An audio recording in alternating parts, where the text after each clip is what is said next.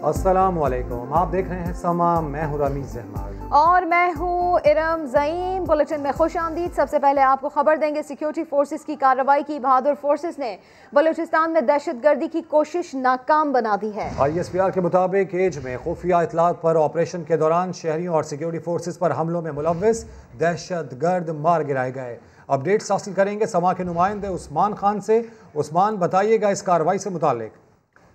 जी, बिल्कुल अभी security forces ने इंटेलिजेंस बेस्ड ऑपरेशन किया है और इसमें दहशत गर्दों के खिलाफ कार्रवाई की गई है। जनूबी बलूचिस्तान है, दहशत, जहाँ पर दहशत गर्दी की बड़ी मुमकिन कार्रवाई को नाकाम बनाया गया है। सिक्योरिटी फोर्सेज ने जिला केच के इलाके बलेदा में कार्रवाई की है और कार्रवाई के नतीजे में खतरनाक दहशत गर्द जो कि सरगना समझा जाता है, उसको हलाक कर दिया गया है और मारा गया दहशत गर्द मासूम शहरियों के कत्ल भत्ताखोरी और सिक्योरिटी फोर्सेस पर हमलों में मुलविस बताया जाता है। आईएसपीआर के मुताबिक जिस जगह पर ऑपरेशन किया गया, वहाँ पर असलह और गोला बारूद की भारी खेप जो है वो बरामद की गई है और इसी फायरिंग के तबादले में एक सिपाही जो है सिक्योरिटी फोर्सेस का वो जख्मी भी हुआ है। ठीक है, कामयाब ये कार्रवाई है। अपडेट्स लिए शुक्रिया, उस्मान। और अब बात करते हैं लीगी रहनुमा अयाज सादिक के बयान से उठने वाले तूफ़ान की। विफाकी वज़ीर इतला शिबली फराज ने रियासत मुखालिफ बयानबाजी करने वाले सियासतदानों के खिलाफ कानूनी कार्रवाई का इंदिया दे दिया। कहते हैं, मुल्क के खिलाफ बात करने वालों की जबानें खींच लेंगे। शिबली फराज का ये भी कहना था कि मुल्क में अदम इस्तेकाम का आगाज़ डॉन लीग से हुआ था। मुझे क्यों निकाला? गुजरावाला और कोयटा जलसा उसी की कड़ी है। उन्होंने नवाज़ शरीफ, अयाज सादिक और मौलाना अतार रहमान की तकरीर को पी डी एम का बयानिया करार दे दिया। 2016 में डॉन लीग से शुरू हुआ। उसके बाद 2017 में जीटी रोड पे मुझे क्यों निकाला की सूरत में नज़र आया। गुजरावाला का जलसा हुआ, तकरीर आपने सुनी। कराची में किस तरह से कायद के मज़ार की तोहन की गई? फिर कोयटा में आज़ाद बलूचिस्तान का नारा लगाया गया। नेशनल असम्बली में सबका स्पीकर अयाज सादिक, उन्होंने एक ऐसी तकरीर की जिसमें हमारी बहादुर एयरफोर्स आर्मी उनको तनकीद का निशाना बनाया। किसी भी सियासी लीडर ने न तो उसकी तरदीद की, न उसकी मजम्मत की, यानी कि ज़ाहिर ये हुआ कि ये पीडीएम का बयानिया था। तकारीर की। चाहे उसमें हया सादिक हो, मौलाना अताउर हों हो, उन्हें कोई नदामत नहीं है। वो इसकी ना माफ़ी मांगना चाहते हैं, ना वो इस, इसकी तरदीद करना चाहते हैं। उनको हम बिल्कुल इसकी इजाज़त नहीं देंगे कि ये मुल्क के खिलाफ बातें करें, मुल्क के मफादात को नुकसान पहुँचाएँ इंटरनेशनल लेवल पे हमें बदनाम करें। अगर किसी ने ऐसी बात की जिसने कि मुल्क के खिलाफ कोई बात की, उनकी हम जुबानें खींच लें। हुकूमत तमाम कानूनी पहलुओं पे गौर कर रही है और आने वाले दिनों में आपको पता भी चल जाएगा कि हम क्या इकदाम ले रहे हैं। मुस्लिम लीग नून के रहनुमा अयाज सादिक कहते हैं कि मेरे बयान को पाक अफवाज से जोड़ा गया। किसी को भी मुझे गद्दार कहने का हक नहीं। मौलाना फजल रहमान से मुलाकात का कौमी असम्बली में दिए गए बयान से कोई ताल्लुक नहीं है। अयाज सादिक ने हुकूमत पर बयान को सियासी रंग देने का इल्ज़ाम भी लगा दिया। मौलाना फजल रहमान ने हुकूमत पर तनकीद करते हुए मुल्क को आइन के मुताबिक चलाने का मुतालबा कर दिया। मेरी बात को सियासी रंग देने की कोशिश की गई। इख्तलाफ राय अपनी जगह। किसी को मुझे या किसी और को गद्दार कहने का हक नहीं। मौलाना फजल रहमान से मुलाकात के बाद मीडिया से बात करते हुए लीगी रहनुमा या सादिक का कहना था, बयान देने में कभी गैर ज़िम्मेदारी का मुजाहरा नहीं किया। इन्होंने जो अफवाज पाकिस्तान को मेरे स्टेटमेंट से नथी करने की कोशिश की ये कोई पाकिस्तान की खिदमत नहीं थी।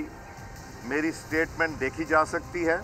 अफवाज पाकिस्तान को इस लड़ाई से बाहर रखें। पीडीएम सरबरा बोले इख्तलाफ राय का हक सबको है। फजल रहमान ने हुकूमती अरकान पर मामला को इश्तियाल तक ले जाने का इल्ज़ाम भी लगा दिया। मैं मैंने ऐसी कोई अहमक हुकूमत नहीं देखी जो आबैन मुझे मार की सियासत की है जो खुद इश्तियाल दिलाती है अपोजिशन को। हमेशा अपोजिशन इश्तियाल की तरफ़ जाती है। हुकूमत उसको अतदार की तरफ़ लाने की कोशिश करती है ताकि बहरान पैदा ना हो। फजल रहमान ने मजीद कहा, अयाज सादिक के बयान से प्याली में तूफ़ान बर्पा करने की कोशिश की गई।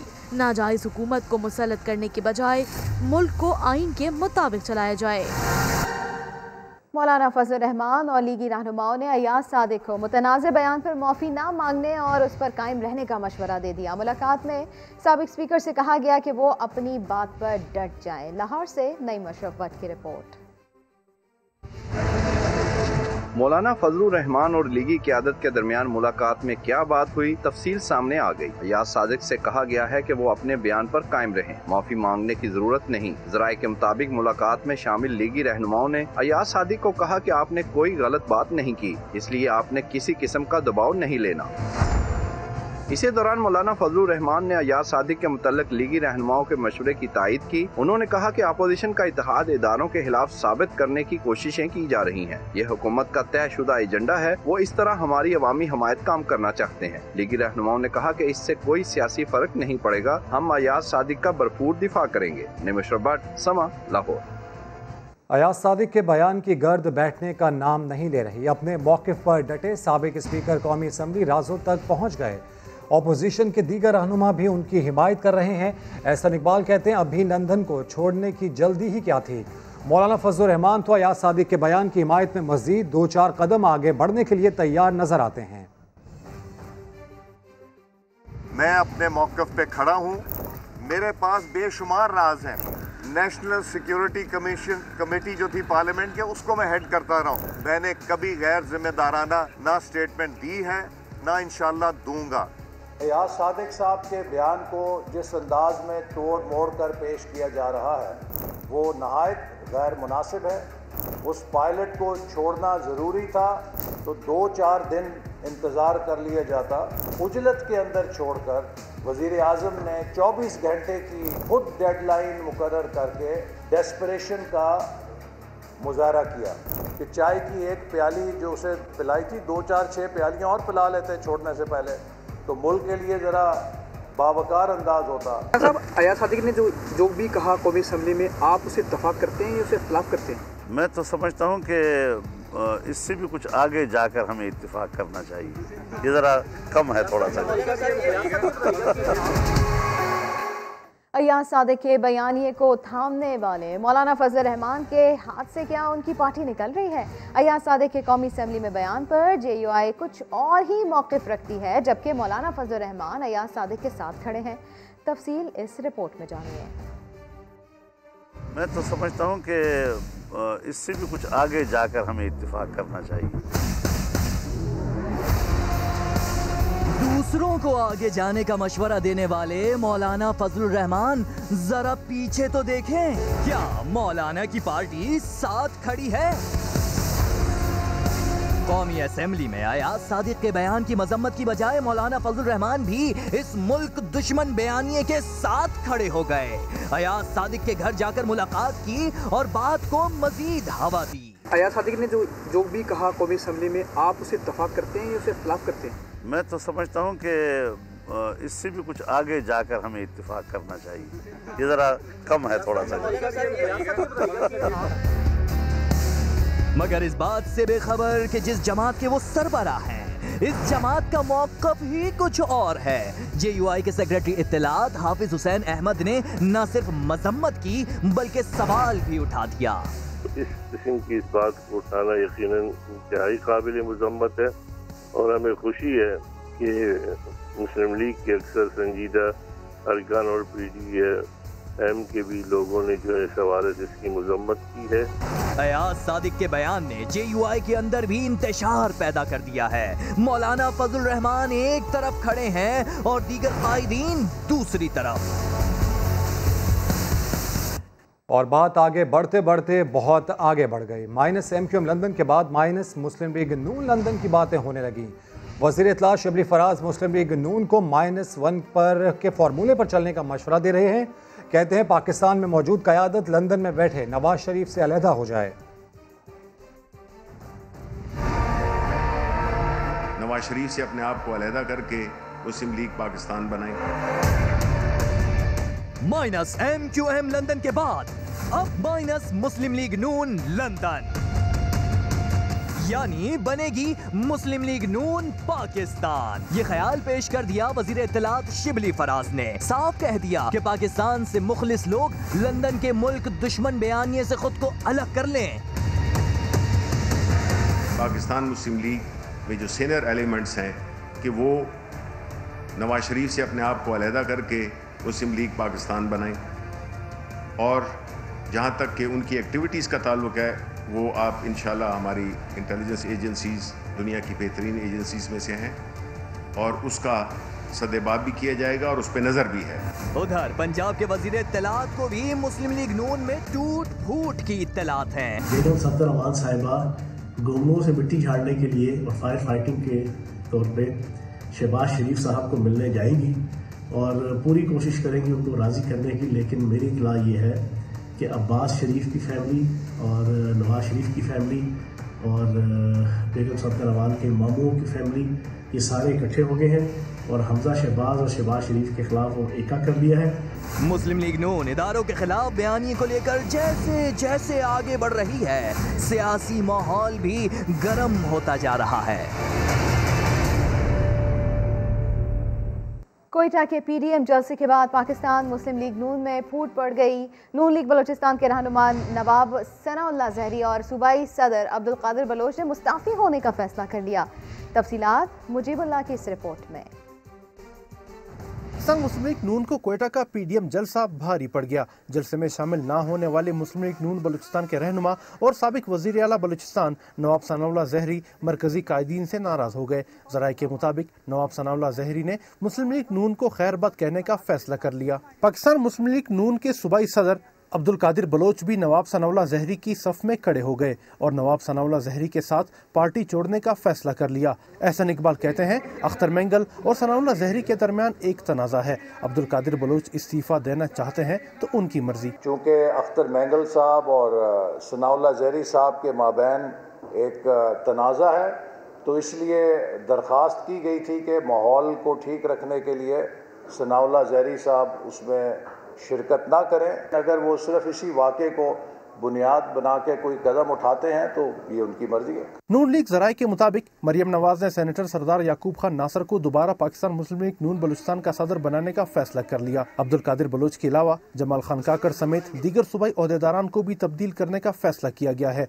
जिसकी वजह कोयटा जलसे में लीगी कारकुनान की कमी है। मरियम नवाज़ ने जलसे में कारकुनान की तादाद कम होने आरोप शदीद बरहमी का इजहार भी किया। मुजीबुल्ला, समा कोयटा विफाकी वज़ीर रेलवे, शेख रशीद कहते हैं, सियासी मामला अबतर हो रहे हैं। सियासत को रियासत पर अहमियत दी जा रही है। रियासत से लड़ाई की सूरत में इंतशार फैलेगा, लेकिन सियासी कुतों के हाथ कुछ नहीं आएगा। उनका कहना था कि मार्शल का ख़तरा है, ना ही इमरान खान इस इसम्बलियाँ तोड़ेंगे। हालात काफ़ी अबतर होते जा रहे हैं। सियासत को रियासत पर अहमियत दी जा रही है। मैं ये सोच भी नहीं सकता कि अयाज सादक नवाज़ शरीफ की थपकी के बगैर ये बयान लगा सकते हैं। यही बात ख़त्म नहीं हो रही। ये जलसों की बात नहीं है। अब आपने फैसला करना है कि सियासत से लड़ाई करनी है तो इमरान खान मैदान में है। रियासत से लड़ाई आपका हक नहीं है। उसके साथ साथ पाकिस्तान में अंदर से इंतशार और खलफशार पैदा करने की कोशिश की जा रही है। इस इंतशार और खलफशार से ये ना हो कि सियासी कुतों को पछताना पड़े। पीपल्स पार्टी ने फिर भी बेहतर सियासत खेली है। बाज़ अकल के अंधों को अंदाज़ा नहीं है कि सियासत किस ख़तरनाक मराहल में दाखिल हो रही है। उनसे मैं गुजारिश करूँगा कि अकल के नाखन लें। ना मुल्क मार्शाला की तरफ़ जा रहा है, ना इमरान खान असम्बलियाँ तोड़ रहे हैं। सियासत में डायलाग के दरवाजे नहीं बंद कर सकता। सियासतदानों को अकल के नाखन लेने चाहिए। हालात जिस तेज़ी से जिस जानब जा रहे हैं, उससे कुछ भी हो सकता है। और लाहौर की शाहराहों पर सबक स्पीकर कौमी असम्बली अयाज सादे के बयान के खिलाफ पोस्टर्स लग गए। पोस्टर्स में मुतालबा किया गया है कि कौमी मफाद को नुकसान पहुँचाने पर उनके खिलाफ कार्रवाई की जाए। ये पोस्टर्स किसने लगाए हैं? उन पर क्या दर्ज है? जानते हैं जहांगीर खान की इस रिपोर्ट में। नून लीगी रहनुमा कौमी असम्बली में बयान देकर मुश्किल में पड़ गए। उनके शहर में ही मुखालफाना posters आवेजा Gulberg, Main Boulevard, Liberty Chowk और मुल्हिका शाहराहों पर पोस्टर्स और फ्लेक्सिस किसने लगाए? कोई नाम तो दर्ज नहीं। ताहम आखिर में हल्का एन ए एक सौ उनतीस के अवाम का ज़िक्र है, जहाँ ऐसी वो मुंतब होकर कौमी असम्बली पहुँचे हैं। शहरियों ने भी अयाज सादी के मुतनाज़ बयान के खिलाफ लगने वाले पोस्टर्स की तायद कर दी। अयाज सादिक ने बहुत गलत काम किया है, जो कि मुल्क की सालमियत के ख़िलाफ़ है? एयाज सादिक ने जो कमेंट्स दिए हैं ये टोटली उसने पाकिस्तान की सॉवरेंटी को डैमेज किया हम इसकी शदीद अल्फाज में मजम्मत करते हैं। एयाज सादिक का जो बयान है ये बिल्कुल गलत था। उसके खिलाफ जो बैनर लगे ये लाहौर में नहीं, पूरे पाकिस्तान में लगने चाहिए। पोस्टर्स पर अभिनंदन और अयाज सादिक को एक जैसा दिखाया गया है और नून लीग रहनुमा के खिलाफ मुख्तलिफ़ नारे दर्ज हैं। पोस्टर्स लगाने वालों ने मुतालबा किया कि अयाज सादिक के खिलाफ गद्दारी का मुकदमा दर्ज किया जाए। बिलावल भुट्टो ने तब्दीली सरकार को जनवरी तक घर भेजने का वादा दोहरा दिया। दावा किया कि गिलगित बल्तिस्तान में भी तहरीक इंसाफ को शिकस्त देंगे। इल्ज़ाम लगाया कि विफाकी वज़ीर इंतबी मुहिम चलाने नहीं, वोट खरीदने आए हैं, लेकिन गिलगित बल्तिस्तान के लोग बिकने वाले नहीं। एक वफाकी वज़ीर भी पहुँच चुका है। धांधली करना तो उनकी आदत है। रूल का तो खिलाफ वर्जी है। सुना है कि वो वोट खरीदने के लिए आए हैं, पैसे बांटने के लिए आए हैं। ये लोग बिकने वाले नहीं हैं। गिलगित बल्तिस्तान के अवाम बहादुर लोग हैं हयूर लोग हैं गैरतमंद लोग हैं। आपके पैसे की वजह, वैसे मैं कहूँ पैसा लो, वोट पीपल्स पार्टी को दो। पुतली को ना सिर्फ़ गिलगित बल्तिस्तान में नाकाम करवाएँगे। गिलगित बल्तिस्तान में पीपल्स पार्टी को जितवा के यहाँ भी कठपुतलियों को हरवाएँगे। और इंशाल्लाह ताला जनवरी तक मेरा आपसे वादा है कि हम इस्लामाबाद पहुँच रहे हैं और जिस कठपुतली सेलेक्टेड नायल जालिम को घर भेजेंगे घर भेजेंगे घर भेजेंगे। विफाकी वजी दाखिला ने खैबर पख्तूनख्वा पुलिस के आई जी की कारकर्दगी पर अदम इतमान का इजहार कर दिया एजाज शाह ने सनाउल्ला अब्बासी को अहमक करार दिया। इसी पर अपडेट्स हासिल करेंगे। ब्यूरो चीफ पिशावर, तारिक अफाक से। तारिक, क्या खबरें क्या मामला ये देखिए रमीज में यह था कि एक पार्लियामेंटेरियन ग्रुप है जिसमें तमाम कौमी असम्बली के जो अरकान हैं, इन पे है वजरा भी उसमें शामिल है। उसमें विफाकी वज़ीर दाखिला एजाज शाह यह भी शामिल है और उसमें खैबर पख्तनख्वा के जो आई जी पी है, वो भी शामिल है। तो उस ग्रुप में उन्होंने बात करते हुए जो खैबर पख्तनख्वा के वजी आई जी पी है उनकी कारकर्दगी पर आदमी आदम इतमान का इजहार किया है और उनको अहमद करार दिया है, उनको उनके बारे में कहा कि वो स्टूपिड है। और फिर उन्होंने ये भी कहा है कि मैंने अपने उसमें जो ना ऐसे ग्रेड ट्वेंटी टू के ऐसे अहमद ऑफिसर को देखा नहीं है, जिसको जो ना पेशावर खैबर पख्तनख्वा में रखा गया कैसे सुबह जो दहशतगर्दी के खिलाफ जंग लड़ रहा है और वहाँ पे जो है अफसर को तैनात किया गया है। चंद दिन पहले पिशावर में जब धमाका हुआ था मदरसे पर तो उस वक्त मीडिया से बातचीत करते हुए सनौल्ला बासी ने उस वाक़े को एक छोटा मोटा वाक्य करार दिया था। फिर उनको ये भी नहीं था कि उस जो मदरसा था, उसको थ्रेट अलर्ट जारी हुए थे या नहीं हुए थे। तो उससे भी वो लाइलम थे और हालाँकि फिर पुलिस ने जो ना खुद थ्रेट अलर्ट जारी कर दिया था। इस हवाले से जब हमने आईजीपी से बात करने की कोशिश की तो उन्होंने विफाकी वज़ीर दाखिला एजाज शाह के उस पर रिमार्क्स पर किसी किस्म का तबसरा नहीं दिया। अलबत् उन्होंने अपने दिफा में जो ना वो फुटेजेस और वो तस्वीरें भेजी हैं। जो उन्होंने मुख्तलिफ़ जो मकाम के दौरे किए, वहाँ पे उन्होंने पुलिस जो जवान थे उनसे खिताब किया था। तो उन्होंने सिर्फ़ वो कारकर्दगी हमें भेजी है कि ये मेरी कारकर्दगी है वो पख्तनख्वा में आई जी पी के रोज़े पर रहते हुए। लेकिन उन्होंने किसी किस्म का तबसरा जो है इससे गुरेज किया था। जी। अच्छा आपसे ये भी जानना चाहेंगे इस ग्रुप की तो आप बात कर रहे हैं व्हाट्सएप ये ग्रुप है जिसमें ये सारी बातें हुई और ऐसे में विफाक की वजर दाखिला ने वजर अला खैबर पख्तूनख्वा महमूद खानून पर भी काफ़ी शदीद तनकीद की है। यकीन उन्होंने जो ना खैबर पख्तूनख्वा के वजी अला पर भी काफ़ी तनकीद की है और उन्होंने इस पर हैरत की भी इजहार किया है। एक ऐसे अफसर की जो उनकी ज़िम्मेदारी है और वो पता नहीं कि ऐसे अफसर को उन्होंने कैसे यहाँ पे रखा हुआ है। और इसमें आपको एक बात ये भी बताते चलूँ कि आज पिशावर में जो ना ये विफाकुल मदारिस की जो मुख्तलिफ़ तंजीमें हैं उनकी प्रेस कॉन्फ्रेंस भी हुई थी, उन्होंने भी आज ये मुतालबा किया है कि आई जी पी को फौरी तौर पर इस अहदे से हटाया जाए। क्योंकि उन्होंने जो जो एक तानिया हुआ था उस ताने के बाद उन्होंने जो बयान अहम डेवलपमेंट है हमारे साथ ही रहिएगा। आई जी खैबर पख्तूनख्वा गैर ज़िम्मेदारी का सबूत मीडिया के सामने भी देते रहे हैं। पेशावर धमाके के बाद उनका क्या कहना था आपको सुनवाते हैं। थ्रेट बहुत पहले बड़ा था उसको न्यूट्रलाइज किया है। और बाकी ये छोटे मोटे हो जाते हैं वाक़ात लेकिन होने नहीं चाहिए। थ्रेट बहुत पहले बड़ा था उसको न्यूट्रलाइज किया है।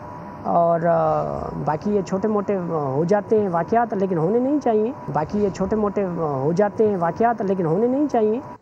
आई जी खैबर पख्तूनख्वा गैर ज़िम्मेदारी का ये सबूत दिया था मीडिया के सामने ये बयान दिया था जिसकी वजह से उन्हें काफ़ी शदीद तनकीद का निशाना भी करना पड़ा था तारिक आफाक साहब।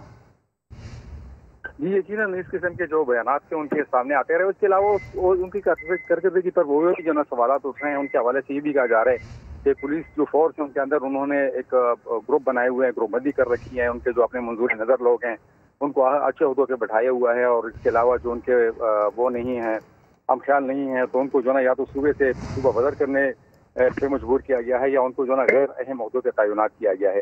तो इस हवाले से हम देखें तो उनकी गैर ज़िम्मेदारी जो है उनके गले पड़ गई है और उसमें ये सिर्फ़ ये ना था कि ज़िंदगी के मुख्तलिफ़ शो शोबों से ताल्लुक रखने वाले लोगों ने उनका तनकीद की है, बल्कि अपने विफाकी वजी दाखिला जो है इंशा उन्हें भी उसकी कारकर्दगी पर सवाल उठा लिए थे और हालाँकि उन्होंने ऑफिशियली तो नहीं लेकिन उस पर जो उनका पार्लियामेंटेरियन ग्रुप था उस पार्लियामेंटेरियन ग्रुप में उन्होंने जो रिमार्क किए हैं तो वो यकीन उसमें उसके अंदर जो गुस्सा भी पाया जाता है और उनकी कारकर्दगी पर आदमी आदमी इजहार होता है उन पर। बहुत शुक्रिया तारिका फाक साहब आपका।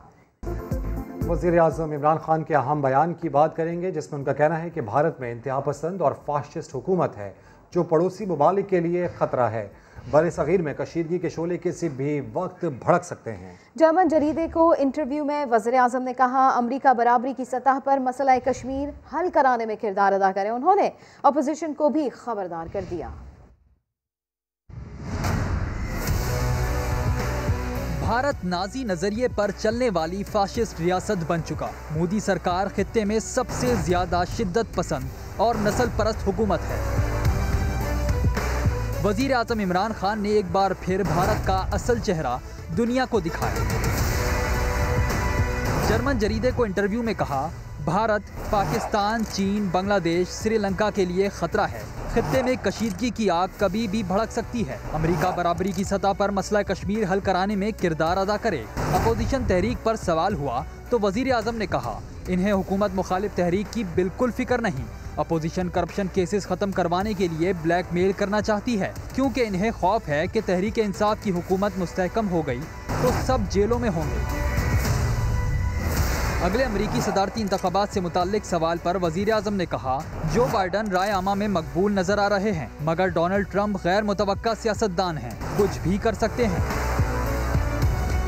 इमरान खान का कहना था, कोरोना पर स्मार्ट लॉकडाउन की पॉलिसी से काबू पाया। वबा की दूसरी लहर का भी कामयाबी से मुकाबला करेंगे। कोरोना ने मुल्क भर में एक बार फिर खतरे की घंटी बजा दी। 24 घंटों में 807 नए मरीज़ रिपोर्ट हुए। 11 अफराद जान से गए। इस्लामाबाद के मुख्तलिफ़ सेक्टर्स की पाँच गलियाँ सील कर दी गई। आदल तनोली रिपोर्ट करेंगे।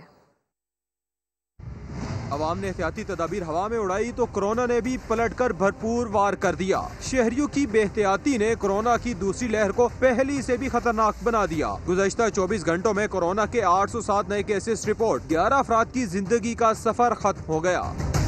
इस्लामाबाद में 224 नए केसेस सामने आए, जबकि दो अफराद लुकमा अजल बन गए। District health officer Islamabad, Zaeem Zia के मुताबिक शहर इकतदार के मुख्तलिफ़ सेक्टर्स की पाँच गलियाँ सील कर दी गई F six two three four, F ten four और आई टेन टू की गलियाँ शामिल हैं। डी एच ओ कहते हैं सील होने वाली गलियों के रिहायशी खुद को करंतना कर लें। कोरोना की दूसरी लहर में हुकूमत ने शहरियों से मदद लेने का फैसला कर लिया। वफाकी वज़ीर असद उमर ने ट्विटर पैगाम में शहरियों से मदद की अपील करते हुए कहा, जहाँ भी किसी को एस ओ पीज की खिलाफ वर्जी करते हुए देखें तस्वीर बनाकर लोकेशन के साथ हमें व्हाट्सएप कर दे। व्हाट्सएप नंबर भी जारी कर दिया। खैबर पख्तूनख्वा में कोरोना वायरस से एक और मसीहा ज़िंदगी की बाजी हार गया। सूबे में अब तक 20 डॉक्टर्स कोरोना का शिकार हो चुके हैं। कॉलेज ऑफ़ डेंटिस्ट्री के dean doctor Sultan Zeb corona virus से मुतासर हुए तो हैदराबाद मेडिकल कम्प्लेक्स में दाखिल कर दिए गए।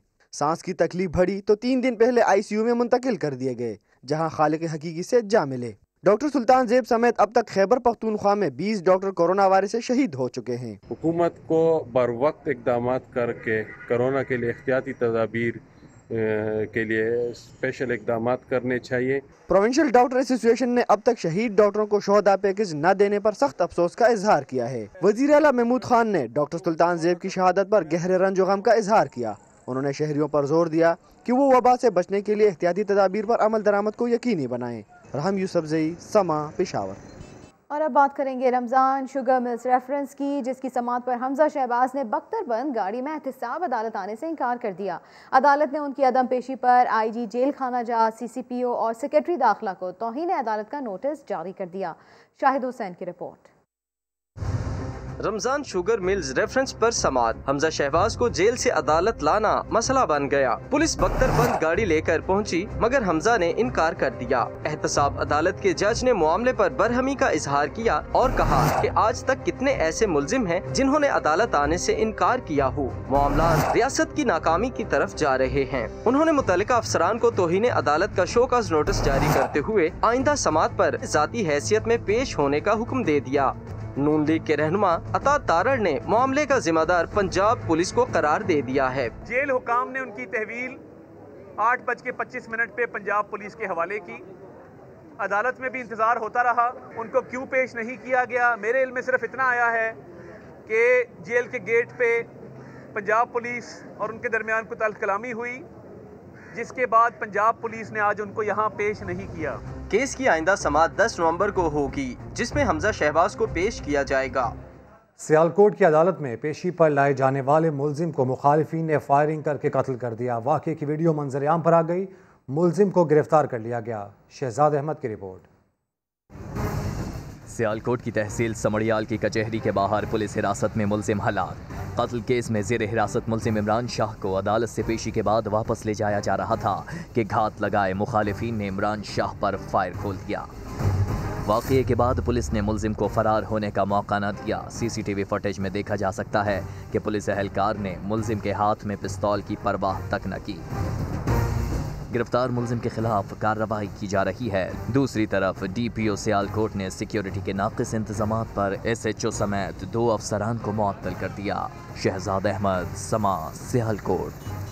बात करते हैं, इकतीस अक्टूबर 2019 को रोनुमा होने वाले सानह तेज़ गाँव की, जिसने कौम को बड़े सदमे से दो चार किया। मीरपुर खास का मुतासर ख़ानदान अब तक गम से बाहर ना आ सका। शबीर मशूरी की रिपोर्ट। एक साल कबल आज के ही रोज तेजगाम एक्सप्रेस ने ऐसी आग पकड़ी जिसे बड़े जानी नुकसान के बाद ही बुझाया जा सका। वाकई में चौहत्तर मुसाफिर लुकमाए अजल बन गए। मीरपुर खास के रिहायशी नदीम मुगल के लवाकिन के आँसू आज भी रुक ना सके। गमजदा माँ का कहना है वज़ीर रेलवे ने माली इमदाद का वादा किया अब तक पूरा ना किया। एहसास करो कुछ ख्याल करो बच्चों का। कर ये महँगाई इतनी होगी किस तरह गुजारा कर सकता? बंदा किस तरह कर सकता? चौतीस साल नदीम के कम उम्र बच्चे वालिद को आज भी याद करते हैं। हमारे पापा हमें याद आते स्कूल जाती हूँ जब भी रो के आती हूँ और आती हूँ जब भी रोती हूँ। रेलवे इंश्योरेंस की जानिब से तो रकम मिल गई लेकिन हुकूमत ने 15-15 लाख रुपए की अदायगी का वादा पूरा ना किया। लवाकिन को सिर्फ़ 25-25 हज़ार रूपए देकर जान छुड़ा ली गई। मुतासरीन ने वफाकी हुकूमत से माली इमदाद का वादा पूरा करने का मुतालबा किया है। गुलाम शब्बी, समा, मीरपुर खास। आगे बढ़ते हुए आपको बताएँ कि हुकूमत का चीनी दरामद करने का फैसला भी काम न आया होल सेल मार्केट में फ़ी किलो चीनी मजीद तीन रुपये महँगी हो गई। रिटेल मार्केट में चीनी 110 रुपए तक फरोख्त होने लगी। अशरफ खान की रिपोर्ट। टाइगर फोर्स क्या करेगी मुझे बताओ कौन सा तीर मार लेगी? आपने हुकूमती मशीनरी को फाल करना है। हार गई टाइगर फोर्स जीत गई महँगाई चीनी करवाहट घोलने लगी। चीनी दरामद करने का हुकूमती फैसला भी कोई काम ना आया। आम बाज़ार में एक किलो शक्कर 110 रुपए तक जा पहुँची। आवाम पूछते हैं क्या पाकिस्तान में गन्ना खत्म हो गया? क्या हो गया है? जो पाकिस्तानी चीनी इतना महँगी क्यों हो रही है? किस बात पे हो रही है? कैसे हो रही है? क्या इधर गन्ना खत्म हो गया है? डीलर्स कहते हैं महँगी चीनी जखीरा अंदोजों के खिलाफ कार्रवाई न करने का नतीजा है।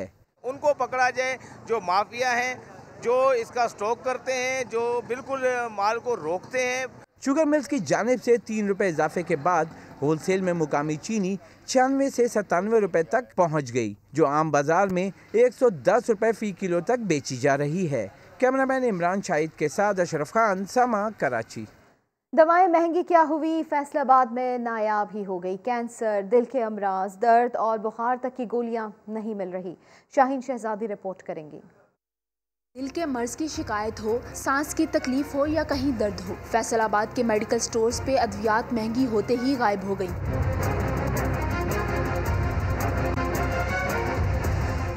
यहाँ तक के बुखार की दवा भी कहीं नहीं मिल रही। मरीजों को तो जान के लाले पड़ गए। मैं कैंसर की मरीज़ हूँ और पैरासीटामोल और पैनाडोल यहाँ से मिलती नहीं है। किसी वक्त बुखार हो जाता है। कैंसर की जो वैसे ही दवाई है वो भी इतनी महँगी है। फार्मासिस्ट कहते हैं मौसम की तब्दीली पैनाडोल और डिस्प्रिन की शॉर्टेज की वजह बनी। डॉक्टर्स के मुताबिक मरीजों को बर वक्त अद्वियात ना मिलने से इनकी हालत मजीद बिगड़ सकती है। मरीज़ और तीमारदार अद्वियात के लिए खवार हो रहे हैं। कहते हैं अद्वियात की फ्राहमी को यकीनी बनाया जाए। ऐसा ना हो मरीज़ जान से जाएँ। कैमरामैन कदीर रहमान के साथ शाहीन शहजादी समा, फैसलाबाद।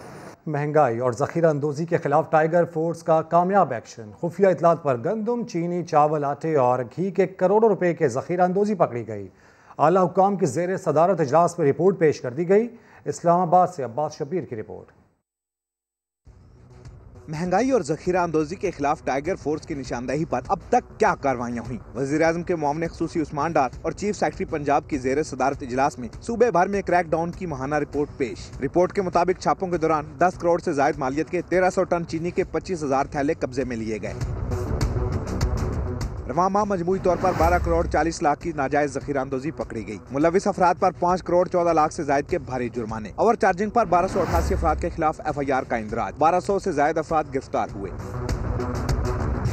टाइगर फोर्स की निशानदेही पर आटे गन्नम चीनी, चावल और घी के गैर कानूनी स्टॉक कब्जे में लिए गए। अप्रैल से अब तक सात अरब दस करोड़ से ज़्यादा जखीरा अंदोजी कब्जे में ली गई इजलास में टाइगर फोर्स की निशानदेही पर छापों का सिलसिला जारी रखने का फैसला। वजी अजम की हदायत की रोशनी में क्रैकडाउन का अमल मजीद तेज किया जाएगा। आइंदा चंद रोज में बड़ी रिकवरी का भी इम्कान है। यकम नवंबर से पेट्रोलियम मसनूआत की कीमतों में दो रुपये फ़ी लीटर तक कमी का इम्कान ओगरा ने कीमतों में कमी की समरी हुकूमत को भिजवा दी। आलमी मंडी में खाम तेल की कीमतों में कमी के बाद ओगरा ने यकम नवंबर से पेट्रोलियम मसनूआत सस्ती करने की सिफारिश कर दी। आइंदा पंद्रह रोज़ के लिए पेट्रोल डेढ़ रुपये और हाई स्पीड डीजल दो रुपये फ़ी लीटर सस्ता करने की तजवीज़ दी गई है। हतमी फैसला वज़र अजम की मंजूरी के बाद होगा। नई कीमतों का ऐलान। वजारत ख़जाना करेगी और इतलाक आज रात बारह बजे से होगा। पेट्रोलियम लिबी की शरह बढ़ाकर मौजूदा कीमतें बरकरार भी रखी जा सकती हैं। गुस्ताखाना खाकों के खिलाफ दुनिया भर में गम गुस्से का इजहार। कैनेडियन वज़ीर अजम जस्टिन ट्रूडो का अहम बयान सामने आया है। फ्रांसीसी सदर के मौक़ से ख़ुद को अलग करते हुए जस्टिन ट्रूडो ने आज़ादी इजहार का इस्तेमाल एहतियात से करने की बात कर दी। कैनेडियन वज़ीर अजम का कहना था कि आज़ादी इजहार राय किसी हदूद के बगैर नहीं हो सकती। आज़ादी इजहार से किसी की दिल आज़ारी नहीं होनी चाहिए। उन्होंने मुख्तलिफ़ बिरदरी की बिलावजा और जब दिल दिल चाहे, दिल आज़ारी के वाक़ात की भी हौसला शिकनी की है। तो गुस्सा खाना खाकों के खिलाफ जहाँ दुनिया भर में गमो गुस्से का इजहार किया जा रहा है, वहीं कैनेडियन वज़ीर अजम जस्टिन ट्रूडो का बयान भी सामने आया है। फ्रांसीसी सदर के मौक़ से वो ख़ुद को अलहदा करते हुए दिखाई दे रहे हैं और ये कहा गया उनकी जानब से कि आज़ादी इजहार राय का इस्तेमाल एहतियात से करने की ज़रूरत है। कैनेडियन वज़ीर अजम का यह भी कहना था कि आज़ादी इजहार राय किसी हदूद के बगैर नहीं हो सकती। आज़ादी इजहार से किसी की दिल आज़ारी नहीं होनी चाहिए। आगे बढ़ते हुए आपको बताएँ कि कराची के इलाके लियाकताबाद में सिवरेज लाइन डालने के बाद गढ़ों को मिट्टी डालकर छोड़ दिया गया। शाहरा पाकिस्तान कहलाने वाली अहम सड़क दो महीने से खस्ता। हाली की वजह से शहरियों के लिए दर्द सर बन गई है। सलमान अहमद की रिपोर्ट। खस्ता हाल सड़क, उस पर सितम ये कि रोड के बीचों बीच कचरे का ढेर। ये है कराची की पहचान शाहराए पाकिस्तान, जो मिलती है सुपर हाईवे से। वाटर बोर्ड अमले की नाअहली की इंतहा ये कि सेवरेज लाइन डालने के लिए आधी से ज़्यादा सड़क खोद कर न सिर्फ़ चलते बने बल्कि एक शहरी की गाड़ी पर मलबा फेंक दिया। ये यहाँ से लेके पूरा टीनट्टी से लेके डाखाने तक ये पूरा तोड़ के हाल बुरा कर दिया है मगर कोई पूछने वाला नहीं। ये गाड़ी खड़ी थी किसी गरीब की। इस पर इन्होंने मलबा मैंने मना किया कि भाई मलबा इस पर मत डालना किसी गरीब की गाड़ी खड़ी हुई है। तो उन्होंने दानिस्ता तौर पर मलबा इस पर डाला है। इन रोडों पे बाइक चलाने पे ये है कि हर महीने हर हफ़्ते जो ना बाइक की मेंटेनेंस करानी पड़ती है। तो वो वो उसका लोड भी हमारे ऊपर महँगाई का लोड भी हमारे ऊपर और ये तो है ही आपके सामने जो खुदर रोड पूरा खुदड़ा हुआ है। मरकजी शाहरा की तबाहाली के बाईस करीबी दुकानदारों को भी शदीद परेशानी उठाना पड़ रही है। यहाँ पर ट्रैफ़िक इतना जाम होता है कि यकीन करो काम भी नहीं हो सकता हमारे से। शाम के औकात में दफातर से घर वालों का यहाँ से गुजरना महाल है। बदतरीन ट्रैफ़िक जाम होने से ये छोटा सा फासला आधा घंटा बर्बाद कर देता है। शहरियों का कहना है कि इंफ्रास्ट्रक्चर की बेहतरी के लिए इकदाम करना वक्त की अहम ज़रूरत है, लेकिन इसकी वजह से मुतासर होने वाली सड़कों की मरम्मत फौरी तौर पर ना करना गैर ज़िम्मेदारी है। कैमरामैन आतिफ कुरैशी के साथ सलमान अहमद, समा कराची। पाकिस्तान में इंटरनेशनल टेंट पेगिंग का मेला सज गया। जंग में होने वाले मुकाबलों में इंग्लैंड, अमेरिका, कनाडा और नॉर्वे के खिलाड़ियों समेत पाकिस्तान की भी बारह टीमें इन एक्शन हैं। इवेंट के पहले रोज़ तलवार से लेमन कटिंग और रिंग पासिंग के मुकाबले हुए। टेंट पेगिंग चैंपियनशिप में एशियन फेडरेशन के जनरल सेक्रेटरी ने भी शिरकत की।